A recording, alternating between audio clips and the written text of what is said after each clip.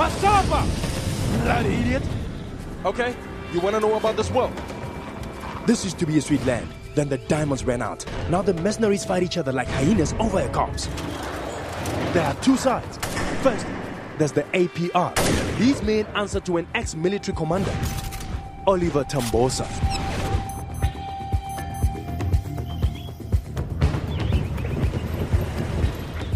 The man is a fucking chameleon. You won't see his true colors until it's too late.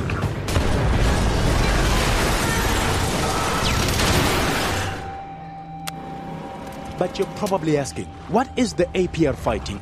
They fight the UFLL, a band of mercenaries, led by a man with a dangerously short fuse.